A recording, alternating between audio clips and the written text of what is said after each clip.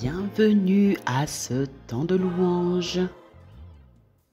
Inspiré en Philippiens 2, versets 14 et 15.